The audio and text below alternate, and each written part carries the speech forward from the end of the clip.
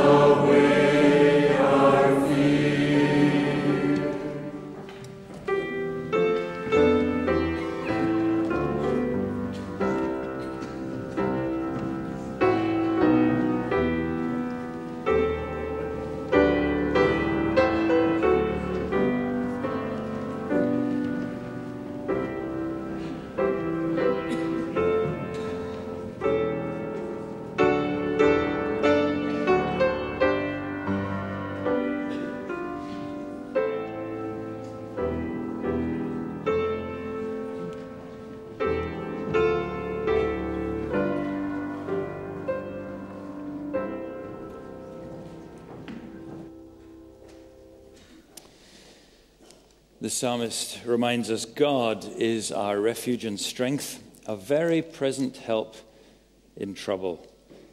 The Lord of hosts is with us. The God of Jacob is our fortress. Well, we're going to begin this morning by singing verse, uh, the version of that psalm and number 46b in our blue hymn books. The two versions there of Psalm 46. We're singing the second God is our strength and refuge, our present help in trouble, and we therefore will not fear. Number 46b.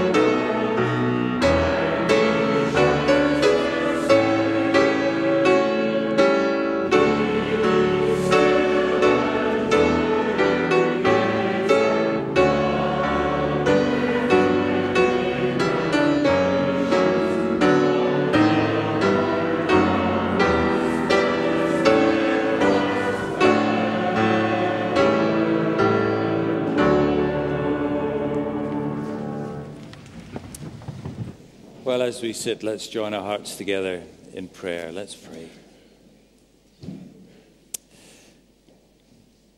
Oh God, our Father, how glad we are to bow in your presence on this, the first day of a new year,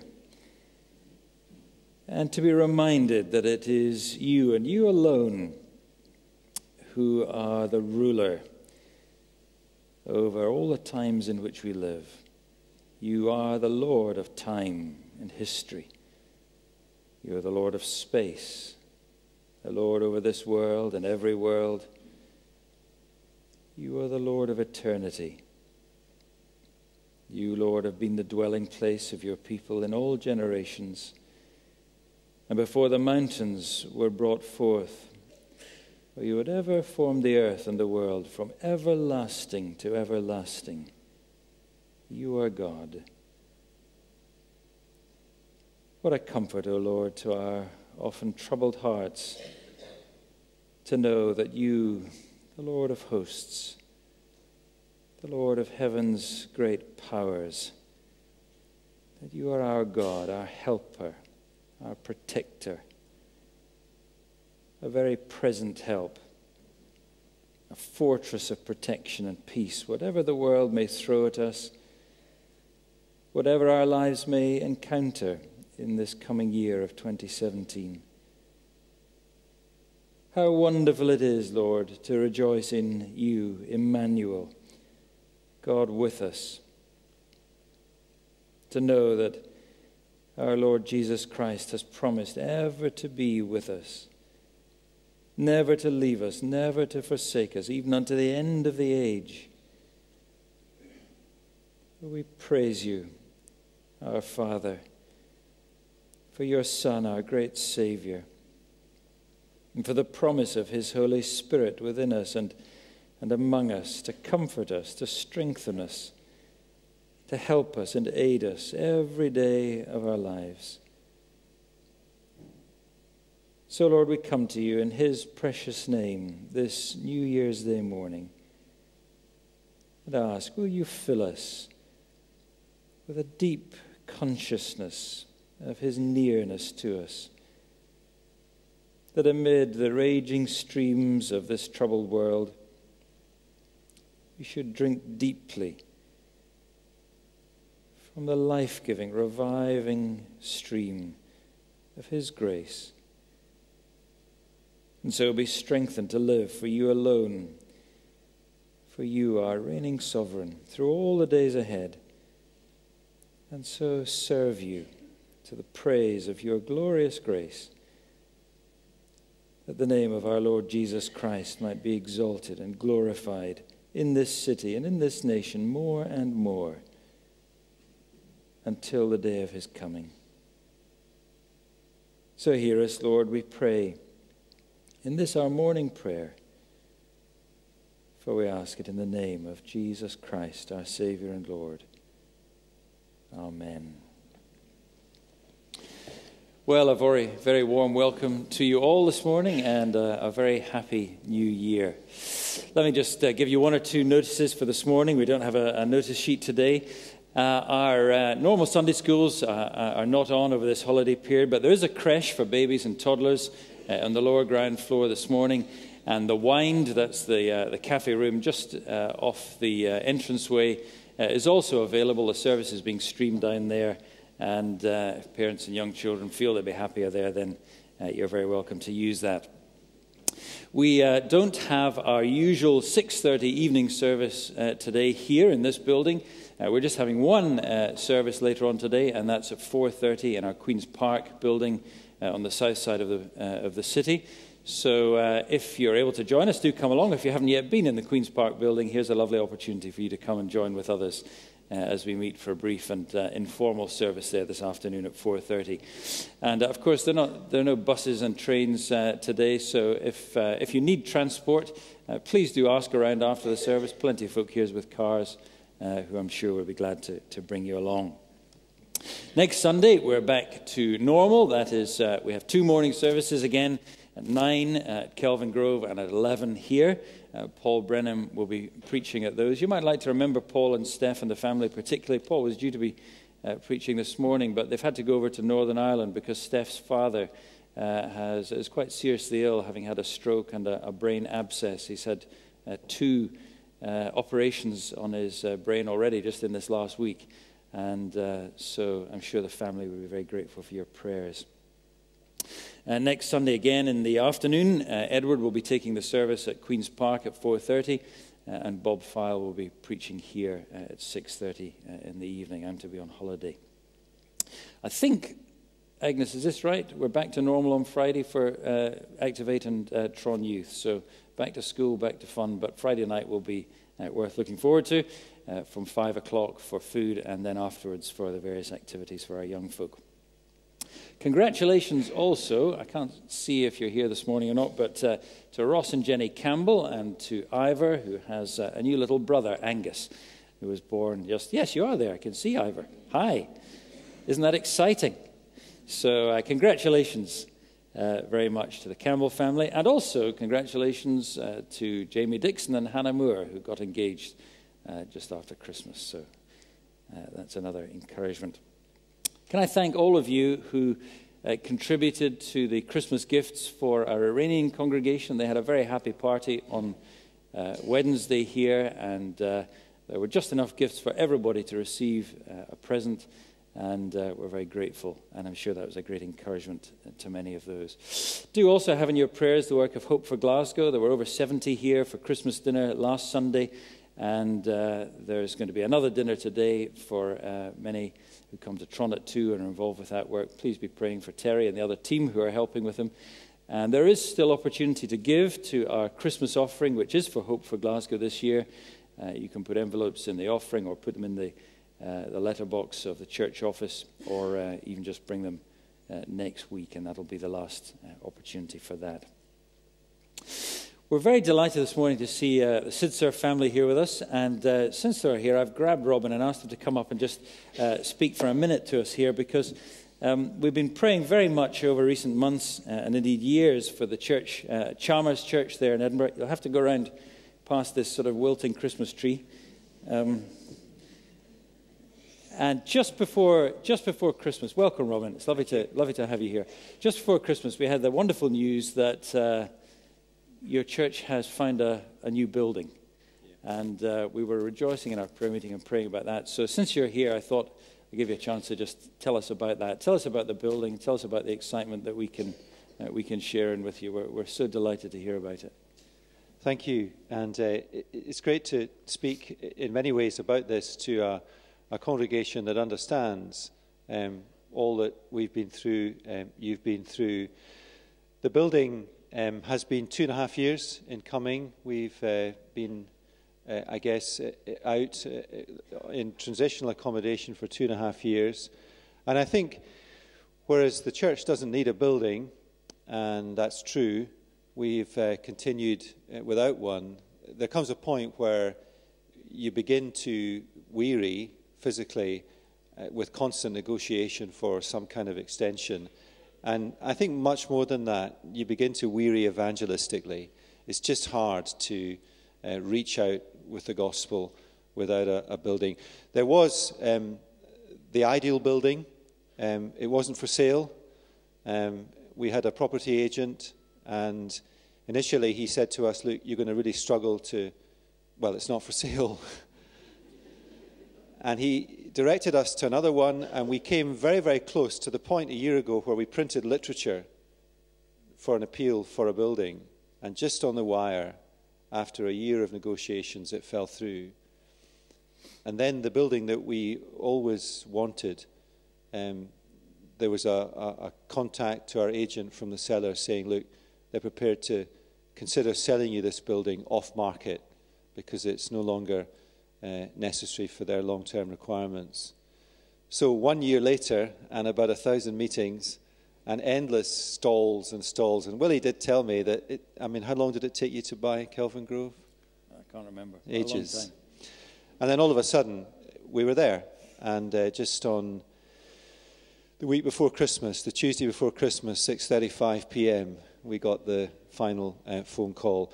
The challenge was we had to buy it as elders. The elders had to, to effectively pay for it because uh, we had a, a non disclosure clause on the building.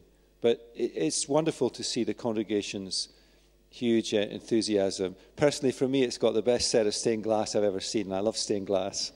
Nobody else does, though. So you, you, um, so you, you got the building, you had the deal done, you got the keys, and then you told the congregation. That was the first they heard of it. Well, we don't have the keys yet. You got the promise of the keys. Technically, yeah. yeah. So the, the congregation, we'd always said to them, you'd be the first to know. but trust us, we have to work within the realm of confidentiality. We bought it from a university, and I think, given our history and circumstances, all it took is one phone call to one newspaper, and, and we'd be done. So the congregation were wonderful. They understood that all along. And we emailed them that night and said, Look, the next three days, you're going to come and see this building. And they were wonderfully encouraged um, by it. And uh, I think the elders who invested so much time in it, we haven't had any critical comments. Not that that matters, and they will come. In fact, they're starting to come now. Uh, where am I going to park my car? And, uh, but it's been wonderfully, wonderfully received with uh, thanksgiving. And um, so we're delighted about that. It's a huge encouragement, isn't it, to our congregation to hear of uh, others, not only Chalmers, but again, just the week before Christmas, to know of Holyrood in Edinburgh getting into their building. And uh, these are huge encouragements uh, to us here and to others who've been in a similar situation. It's just another sign, isn't it, that God knows what He's doing, and that uh, when God is our present help and strength, uh, we really need not fear. Just tell us where the building is, Robin. Some folk might, uh, might know Edinburgh and might know. Yeah, it's in um, Morningside Road, um, just very close to Holy Corner in Edinburgh, just up from Waitrose. It's uh, a 200 year old building. That's Sorry? handy. Handy Waitrose, yeah, it is very nice. Um, It's a busy thoroughfare, isn't it? it it's is. a busy so it's, community. um, it's a busy thoroughfare, busy road, and uh, it's great to see a building opened up to the gospel. Um, so, it's a, so it's a it's a it's, it's a church building that was being used by the university yeah, for many so the years. university bought it 20 years ago. It's a performing arts sort of theatre space. So if you go inside it, it looks like an old church from the outside, but inside it's a theatre um, with lighting gantries and all manner of different things. So it's a kind of old building, modern inside, and uh, it, it'll we, we've got some challenges ahead about how we use it. We share it with them for a little while before we get in ourselves. Isn't that a lovely thing that um, our Kelvin Grove building and now the Chalmers building in Edinburgh and the Holyrood building, three, three buildings which were once churches, have been turned into something else for performing arts and are now being turned back into church buildings for the proclamation of the gospel. That is against the trend of the way things have been uh, going generally, and it's a, it's a wonderful thing, isn't it, that we can, we can rejoice in. Robin, just lastly, because you are on holiday today, so I don't want you to be uh, feeling you're having to work too much. But what can we pray particularly for this next few weeks? When, when do you think you'll be starting in the building, and what's, what's the, what are the key things for us to pray so for? we um, we told the congregation just before Christmas, which was great, but that was wonderful news to share. But then you have this kind of dip of now people have got to get their heads around. The project cost overall is, is 2.4 million. It's a lot of money. And we're asking the congregation to give, and that will be at the end of January, the pledge period. And then all the transitional arrangements. One of the very striking things is that we're in Pollock Halls and we keep negotiating for extensions, and they gave us an extension, and that runs out on the 28th of February. And then the day we move into the building is the 5th of March. So hopefully we can transition. I think the big thing to pray for, though, is one of the things that's happened to our church, and I guess you'll empathize with that, is that when we've not had buildings or facilities or whatever, you have a very keen dependence on the Lord. And I'm really keen that we don't lose that. The building is a base and a hub to do the kind of things, God willing, that you've been able to do. And so let's please pray that, that uh, we'll be ever dependent. And please pray that they'll be happy.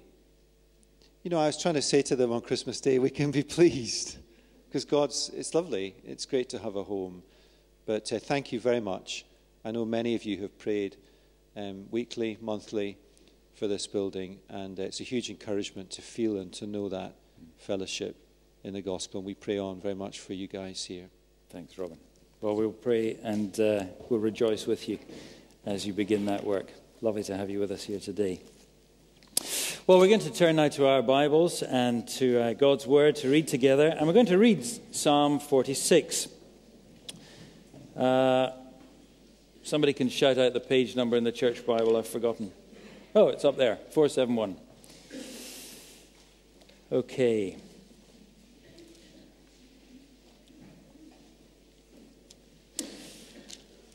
So, Psalm 46 to the choir master of the sons of Korah. So, it's a song to be sung according to Alamoth. which is probably the name of the tune. It's a song. And this is the song God is our refuge and strength, a very present help in trouble. Therefore, we will not fear, though the earth gives way, though the mountains be moved into the heart of the sea, though its waters roar and foam, though the mountains tremble at its swelling. Behold, a river whose streams make glad the city of God, the holy habitation of the Most High. God is in the midst of her. She shall not be moved. God will help her when morning dawns. The nations rage, the kingdoms totter. He utters his voice, the earth melts. The Lord of hosts is with us. The God of Jacob is our fortress. Come, behold the works of the Lord, how he has brought desolations on the earth. He makes wars to cease to the ends of the earth. He breaks the bow and shatters the spear. He burns the chariots with fire. Be still and know that I am God. I will be exalted among the nations. I will be exalted in the earth. The Lord of hosts is with us. The God of Jacob is our fortress. Amen. And may God bless to us his word. We're going to sing now number 888, a great hymn by Martin Luther, which find its inspiration from this psalm Ein feste Burg. Our God stands like a fortress rock with walls that will not fail us. Number 888.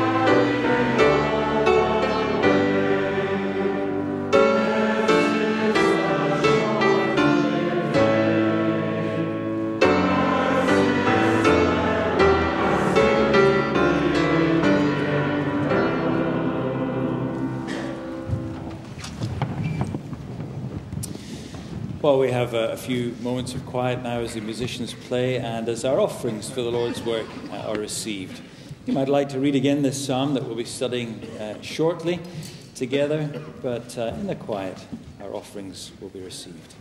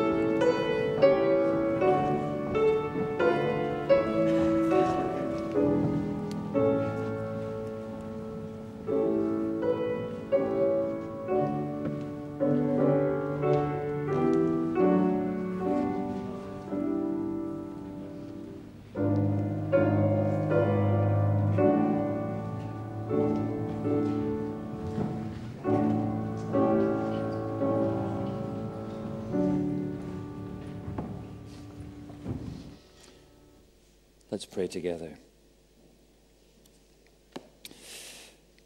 We're so thankful, Lord, that we come before you, a God of great faithfulness, whose mercies are new every morning, day after day, no matter what this world may bring. And Lord, as we stand on the brink of a new year, naturally our hearts are full of much uncertainty. Perhaps many of us filled with fears as we look out at the world and as we listen to the news that bombards us and hear so much that would make us tremble, that would make us shake. Another terrible terrorist attack just last night in Istanbul, many dead, many more injured. New Year's celebrations all around the world, but with vast added security to prevent suicide bombs or someone recklessly driving a lorry, aiming to kill and to maim. We think, Lord, this morning very particularly of many of our mission partners around the world, some of them serving in places where there is great danger. We think this morning of Jonathan and Dewey Blythe in Istanbul, praying for them, Lord, with all that they have endured in this last year the uncertainty of the political regime there, the constant terrorist attacks. And on top of that, for them personally, so many sadnesses of bereavement in their own family and illness among family and friends. We do lift them to you, Lord, and pray that they'd be very conscious this morning of you, the Lord, a very present help in troubled times. We think of Scott and Nok Murray, their time now drawing to a close at the River Kwai Hospital in circumstances that are, are so astonishing to us.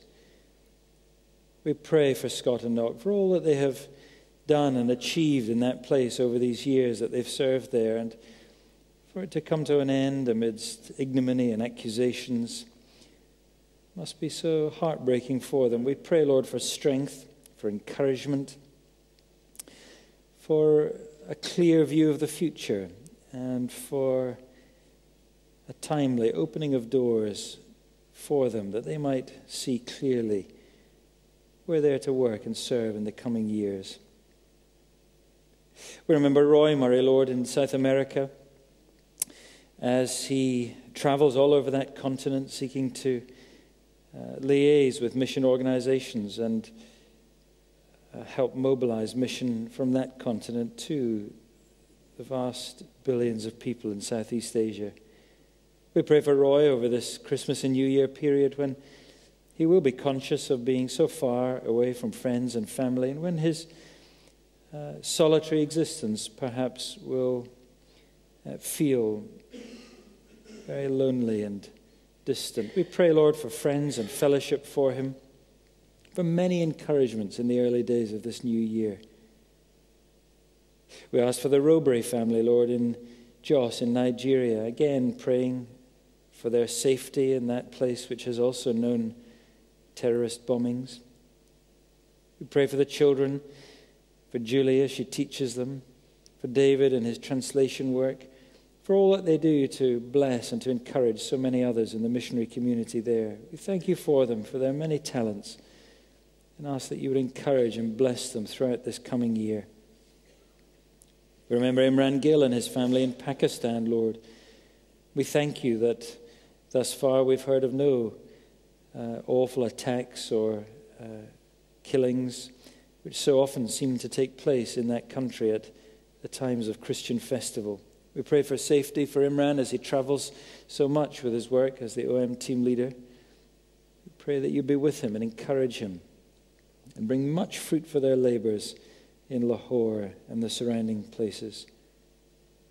Remember Sam and Ruth, Ruth Lee, Lord, living now in Chiang Mai in Thailand. Praying for Sam as he travels to other countries and as he leads uh, part of the team over there. We thank you for their successful move and uh, setting up home in Chiang Mai. And we ask that you would encourage and bless them as a family. And that in this year, as they learn Thai and as they uh, adjust to new circumstances and a new community, that you would go with them, helping them to make friends and contacts, to bless many with the gospel of our Lord Jesus. Remember Darren and Susan Wall as they also look to the future. We thank you for their work with the OMF headquarters as they ponder perhaps a return to overseas service, we pray that you would guard and guide them in all their thinking and lead them in the path that you would have them take. And we pray very especially, Lord, for the Ferguson family in Japan and for David as he awaits the results of his latest scan following his latest round of chemotherapy. We pray, Lord, for all to be as is needed for his bone marrow transplant to take place, and that his body might know full healing and strengthening, that they might be able to re engage completely in the work that you have given them to do there in Japan. We pray for the whole family there together over this Christmas period, and we pray for Matthew as he'll return to us here in the new year and to his studies. Thanking you, Lord, for the way you have kept and sustained him and encouraged him being so far away at this time of his father's illness. We thank you, Lord, for the fellowship that is so real with these and many others part, partnering with us in the gospel of Christ all around the world. What a joy it is to have bonds which cannot be sundered by time or distance with these brothers and sisters who will be our brothers and sisters forever and ever in your glorious kingdom. We thank you, Lord, for these great encouragements from the city of Edinburgh in recent weeks of this building for Chalmers Church and of the new building already being put to use uh, by Holyrood. We thank you, Lord, for all that you have done for these two fellowships in the time of waiting, as you've taught them faith and patience. You've encouraged them and enabled them to serve you and to see what is the real heart of ministry. We do pray, Lord, that as they become settled and have their buildings and uh, move from a time of waiting and transition into something of stability and settlement, that you would take away none of the urgency, none of the gospel drive and desire from their hearts, but rather increase it. Their vision may not be diminished, but widened and that all that they do for you might only grow and increase throughout this year ahead. We pray likewise, Lord, for Edinburgh North Church and for our dear brother Rupert and Jan and their family also, thanking you for that new beginning in ministry, praying that in this coming year they would become established and that you would bless them richly as that church begins to find its way and looks to the future. So, Lord, for ourselves and for all who, like us, partner in the glorious gospel of our Lord Jesus Christ, we pray that you would keep our hearts true to you every day of this coming year. Guard us and keep us, Lord, from the many lures of the prizes and the treasures of this world, which so easily can encroach, can choke, and even snuff out altogether a desire, a love, a zeal for your glorious kingdom. Help us, Lord, all throughout this coming year, in our personal life, in our family life, in our church life together. Help us to be seeking first your kingdom and your righteousness, knowing that all that we need, all these other things which you know that we need, that they will be added to us in abundance if our eyes are fully occupied with Christ our Savior, with His glory, with His kingdom. So, Lord, free our hearts, we pray, from fear, from anxiety, from worries about the cares of this life. And grant us, we ask, the firm foundation in our citizenship in the kingdom which is everlasting, so that we might be a people of faith and not of fear as we face this coming year ahead. So hear us, Lord, and strengthen us now by your grace as we come to your word together. For we ask it in Jesus' name. Amen. Before we come to God's word, then let's sing together again. Number 894. Come, O fount of every blessing, tune my heart to sing your grace, streams of mercy never ceasing, which call for songs of loudest praise. Number 894.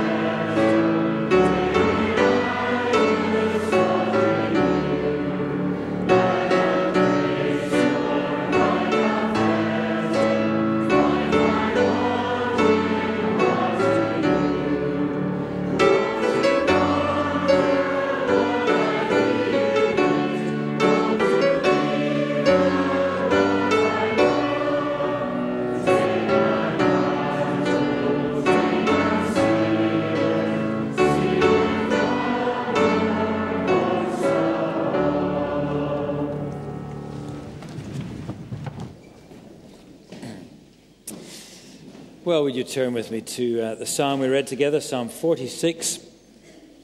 And uh, we're going to look at this this morning. I want to call this a song for the new year. We're on the brink of a new year, and of course, inevitably, our uh, thoughts are looking to the future. And what's in our thoughts as we think about uh, the turn of this year? Well, I suspect perhaps quite a lot of uncertainty. We do live in troubled times, we live in, in tumultuous times. Uh, it's with dread, isn't it, that you look at the uh, news headlines in the morning, especially after a big event, a big date in the calendar, and you're just looking, aren't you, for that terrorist attack? Where's it going to be? And of course, last night it was in Istanbul. There's a lot of uncertainty in the year ahead. We've got uh, a new American president at the end of January. Certainly for some people, that makes them very fearful, although, of course, for others, uh, perhaps much more positive. We've got Brexit, and the same could be said. Fearful for some, bright hopes for others. Certainly, I think the media and the BBC want us to be fearful.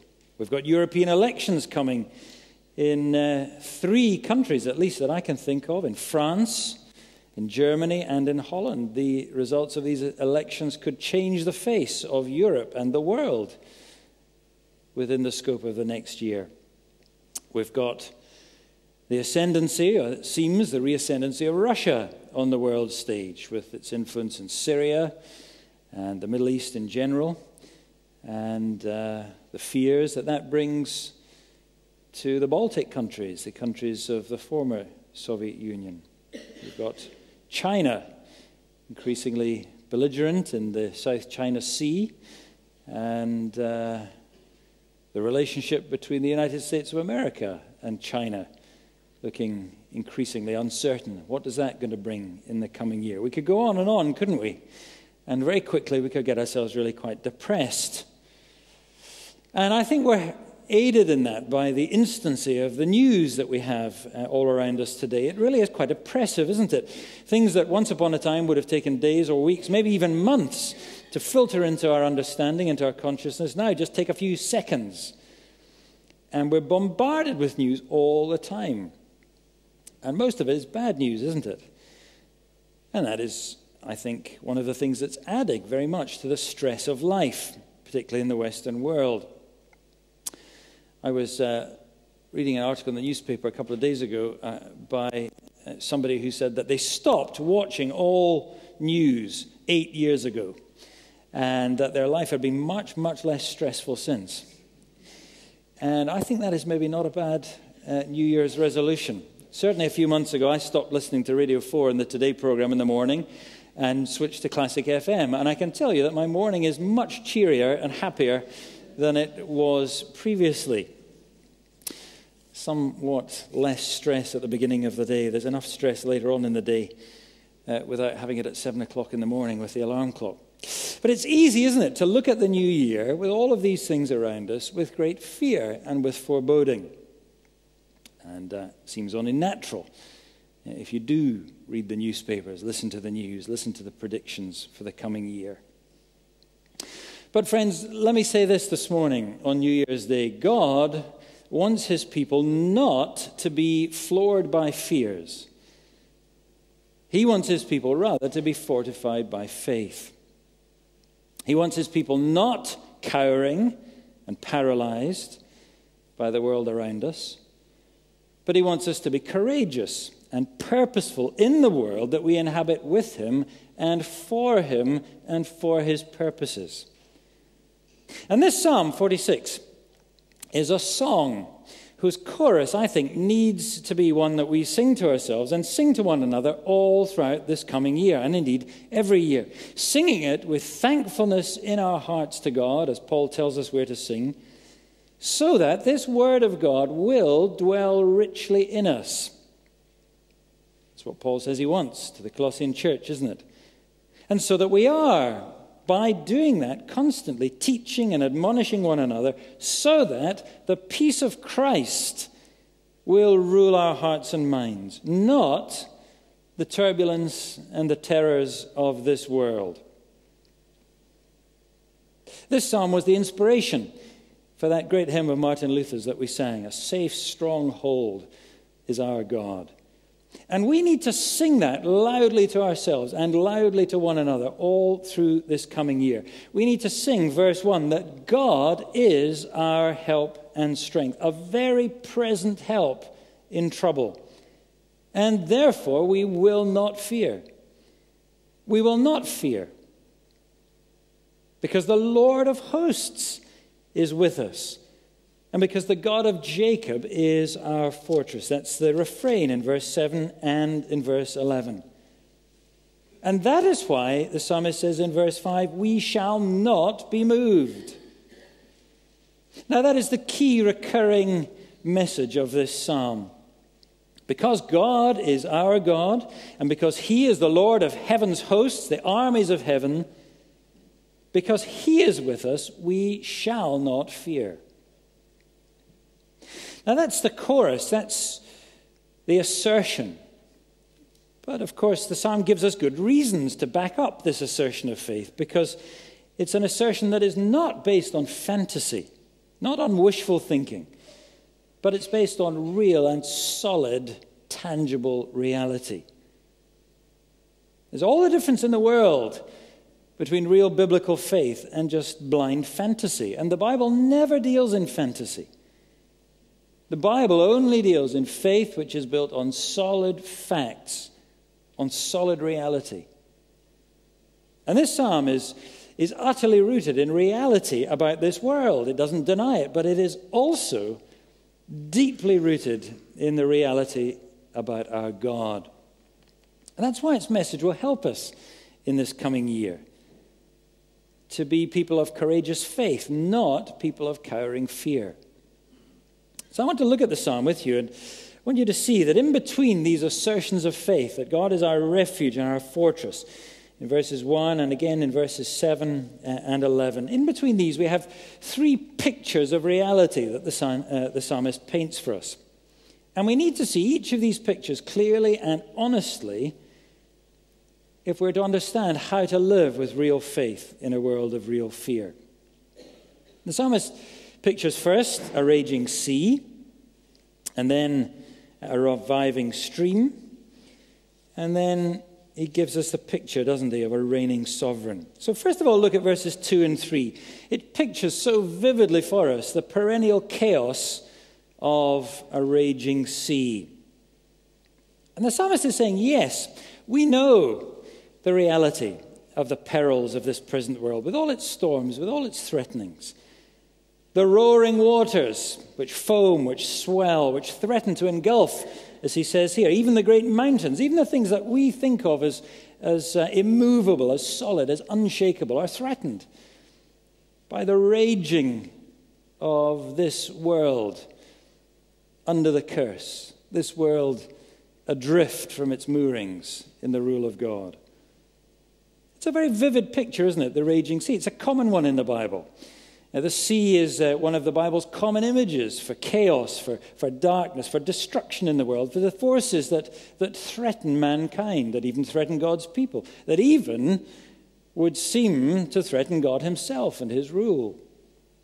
So in Genesis chapter 1, do you remember? It was, it was out of the darkness of the great deep that God spoke, and his voice brought order and beauty out of that chaos banishing the sea to form dry land, uh, dividing the waters, taming the waters.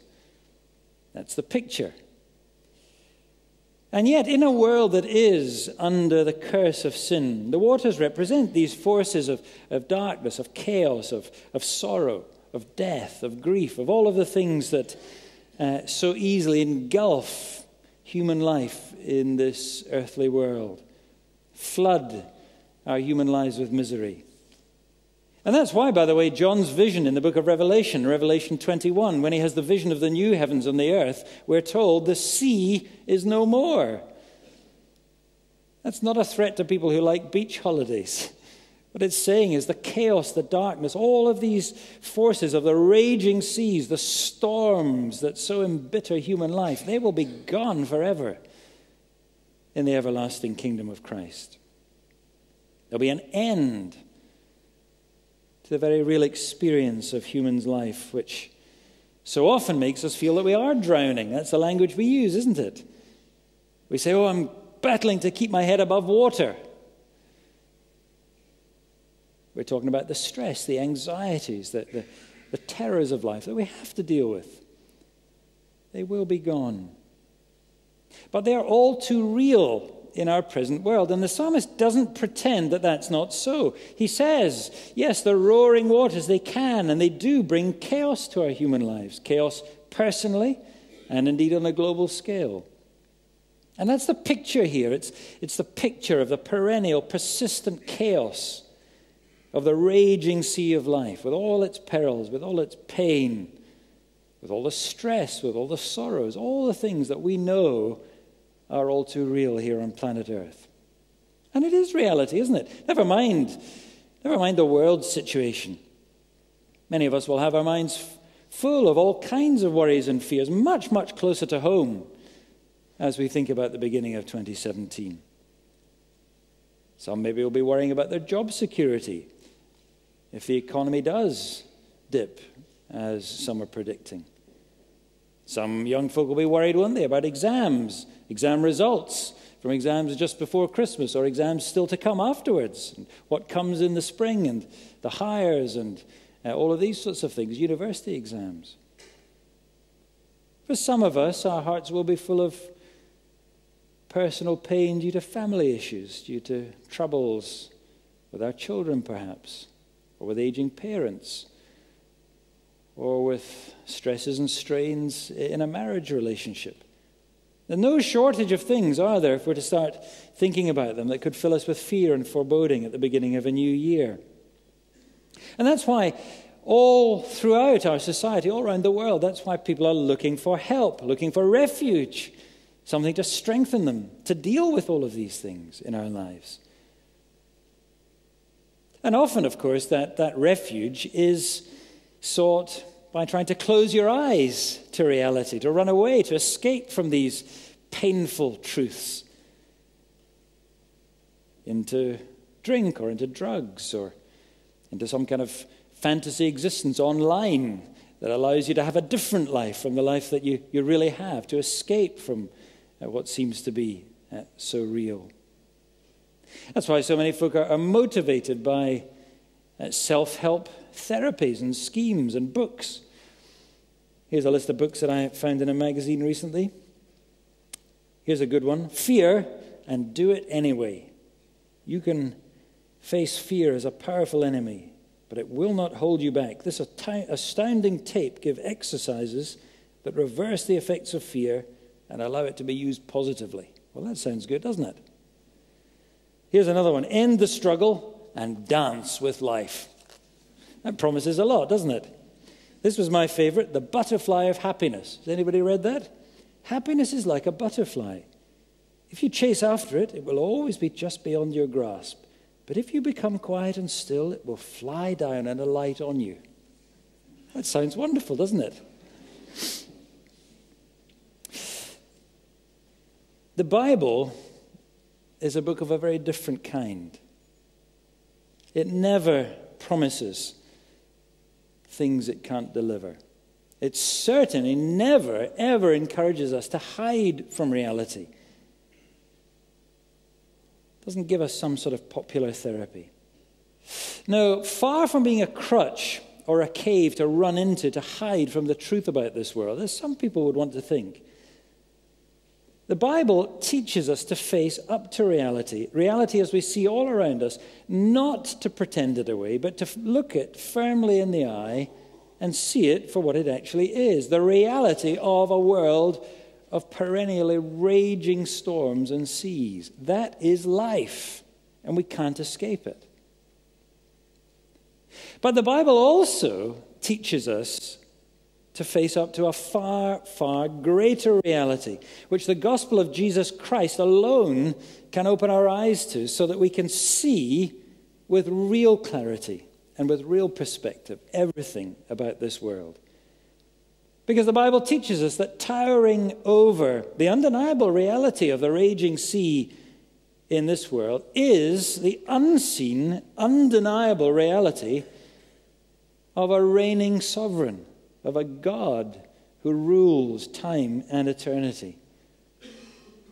And that's the picture at the end of the psalm, if you look at verses 8 to 10. It pictures very clearly for us, doesn't it, doesn't it the permanent conquest of a reigning sovereign. Because you see, we know the reality of the promise of the future. Look at verse 8. Behold, look, see human history from the perspective of eternity. That's what God's revelation in His Word gives to us.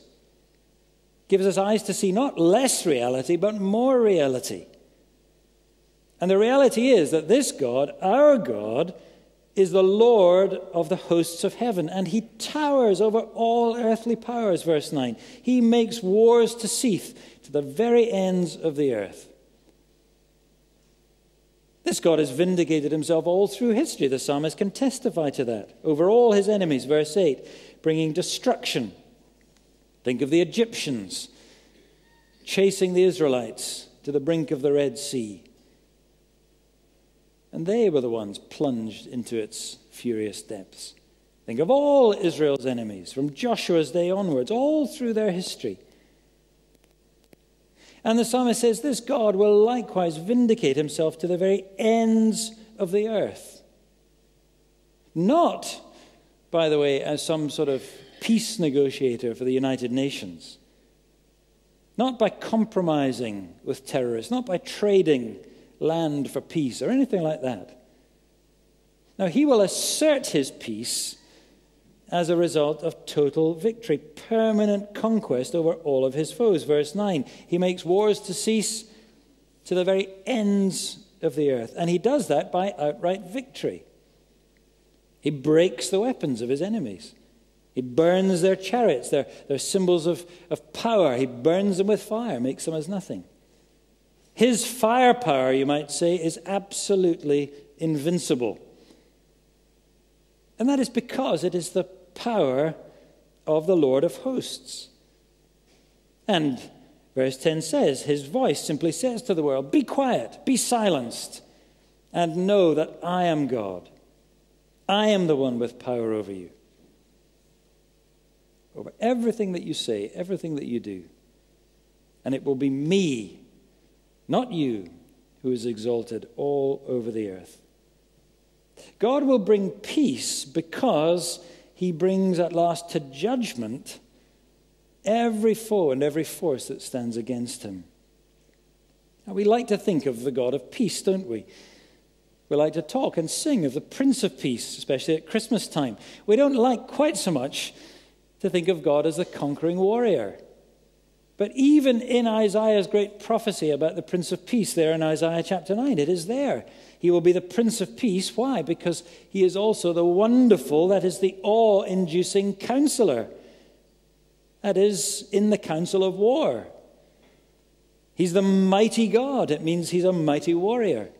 He's the everlasting, he's the indestructible Father. That is the great leader of his people who leads them out against the enemies. That's why Isaiah says in the very next verse there that he will be like a warrior trampling underfoot his enemies, burning them like fire. That is how he will be the Prince of Peace. That's the hope that the gospel of Jesus Christ promises peace through God's great judgment on all enemies, on all evil, on all darkness. We saw it, didn't we, in our Christmas studies on Malachi? His coming will be a fire to set ablaze all enemies. And it's the gospel that Jesus himself commanded that his apostles went out and preached to all the world. Peter tells us that himself in Acts chapter 10. Jesus commanded us, he says, to preach to the people and to testify that he is the one appointed by God to be the judge of the living and the dead. To him all the prophets bear witness. And the great longing of the New Testament hope, therefore, is for that final victory at last to be revealed. Maranatha, come, Lord Jesus, come and judge the world in righteousness, make all wars at last to cease. Now, what a great hope that is, friends. To know this eternal reality and therefore to be able to face all earthly reality that would otherwise floor us and fill us with fear. To know that one day He will come, He will make all wars to cease. Just think about that. All wars. All the wars within. All the battles that you face so incessantly, so constantly against sin. All the urges, all the great battles of your life will cease because we have a reigning sovereign. And his permanent conquest will at last be seen, will be asserted all throughout his kingdom. That'll be when we receive our final salvation. That's what our hope is. So don't despair. All those wars within will cease. And don't fear, because all wars without will cease likewise. We don't need to fear any power in this whole world that sets itself against Christ and his everlasting kingdom. He will be exalted among all the nations. Verse 10 even among all enemies, all mockers, all haters of Christ and his church. In the end, willingly or unwillingly, will exalt our Lord Jesus Christ. Every militant Islamist, every scornful politician, every snide and cynical journalist, every TV pundit, every hostile power will bow low and exalt the Lord Jesus Christ. So when they're raging, so often seems to be causing the world as we know it and all that we hold precious to, to quake, to crumble, to fall away, we need not fear. We must not fear. Nor do we need to compromise to try and broker some sort of uneasy peace with the hostile forces of this world against the gospel. No. We know the reality of a future that is promised by our Lord Jesus Christ. So we are not to be those who surrender to the thinking of this world. Rather, we are to be those who call this world to surrender to the sovereign who has conquered through his great victory over death and the grave. We're to call this world to bow the knee now, while there is still time, before at last every person in this world stands before his judgment seat and will be bowed low, willingly or unwillingly. The Christian gospel is not a hopeless pleading from a hostile world to, to please give Jesus the time of day. Please consider. Please be a bit more generous in your thinking about Jesus and his church. No, no, no. The Christian gospel is a command from an all conquering sovereign. He calls all men everywhere to repent, says the Apostle Paul, to the wisdom and the aristocracy of Athens. The times of ignorance God has overlooked, but now in raising Jesus from the dead, he has made clear to all flesh. And you must bow low before him. Because, verse 9, do not forget, he burns with fire every chariot of man that is arrayed against him. So we offer peace in the gospel. Of course we do. We offer mercy. We offer grace in abundance. But we must never, ever do so forgetting that we do so as ambassadors of a reigning sovereign. And you see, friends, it's when our eyes are open to that much greater truth about a reigning sovereign that even the raging waters of this world are transformed, and they're transformed into reviving streams. That's a picture in verses 4 to 6. It describes the present comfort of a reviving stream. Look at the sudden change in tone from verse 3 to verse 4. The roaring waters suddenly become reviving waters. A river to gladden our hearts, not scaring us, not submerging us, but serving us, sustaining us. Because we know the reality of God's presence with us. The beginning of verse 4, there's actually no uh, word there is, uh, as it is in our translation. It's just abruptly a river. And the implication is that these same waters, these raging waters, the realities of life in a, in a fallen world, in a hostile world, when seen through eyes that are opened by faith in the truth of the gospel, with the ultimate perspective of eternity, these same waters are actually seen to be quite, quite different. It's not that the hostile forces, the enemy forces, disappear, but it is that God's voice and God's command of power utterly outranks theirs. Verse 6 He utters his voice, and the earth melts, and their kingdoms totter. There's a lovely play on words there. It's the same word translated moved uh, in verse 2. The mountains are moved into the sea, and, and uh, same word here in verse 6, totter. And it's the same word in verse 5 about us not being moved. You could probably uh, translate all of them as shaken. The roar of, of evil and opposition to God in this world seems to shake the very foundations of everything, and even the foundations of faith. But no, God opens his mouth and all opposition is shaken to the core. It melts away, and therefore, verse 5, because God is in the midst of his people, we will never be shaken. In fact, the raging of these stormy waters in God's controlling hand, in His gracious providence, instead, they become for us not raging, but they bring us, verse 4, rejoicing, making us glad. They bring us, verse 5, resilience. We shall not be moved.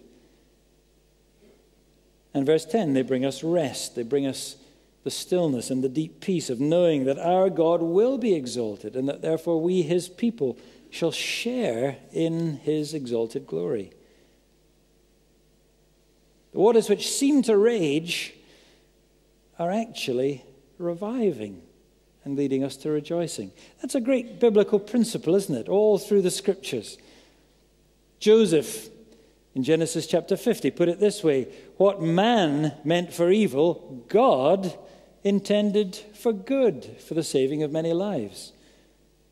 Or Paul in Romans 8 puts it this way all things, that is, all the present groanings he's speaking about, the groanings of life in a still fallen world full of, of raging and roaring and threatenings, all these things, he says, the very things that seem to oppose us, all these things work together for good for those who are called according to his purpose. That is, for those who love the Lord Jesus Christ. You see, his roar overwhelms and silences even the greatest roaring of this world against those who call upon God, the God of Jacob. We have a reigning sovereign. And he turns all the raging waters that we will ever face in this life. He turns them into reviving streams that will not only rejoice our hearts now, but are actually refining our souls testing our faith, so that our faith will be found to result in praise and honor and glory at the revelation of Jesus Christ. That's how Peter puts it, isn't it, in the first chapter of his letter? And James says the same things. Count it all joy, my brothers, when you meet trials of all kinds, when you meet the perennial raging seas of life. Count it all joy because it is working in you the very crown of life. See these things for what they really are. They are the reviving streams of God that can't possibly harm your life, but will certainly, if you see these things through the eyes of humble faith, will hone your life in God's good hand, shaping you into the person He has called you to be for all eternity. Even the terrors, the trials, the tragedies, the tears of a frightening world, when you view them with eyes that see the triumph of our Lord Jesus Christ, they will for us work tenacity and triumph in our faith. It will work in us the faith that can never be shaken. But only if we do believe and trust God.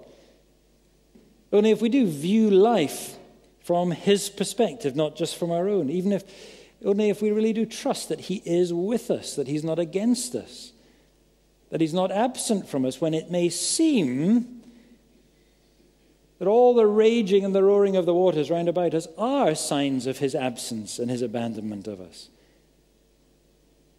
That's why all through the psalm is that refrain God is with us. He's in the midst of us. He is a very present help. Because it can be so hard to see that. It can be so hard to think that, can't it?